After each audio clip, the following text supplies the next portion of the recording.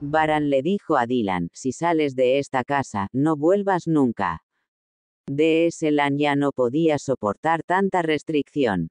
Dylan salió de la casa y se dirigió a Sabija. La pelea entre Dylan y Baran fue grande. Hassan, por otro lado, impidió la boda de Firate y Gul. Sabija le estaba dando consejos a Dylan. Para consolar a Baran, Zihan dijo, hermano Donner Dylan. Dylan estaba esperando un movimiento de Baran. Este gran amor había llegado al punto de separarse a causa del orgullo. Cuando harán las paces Dylan y Baran. No olvides seguir y darle me gusta al vídeo para más videos en este estilo. Gracias por ver.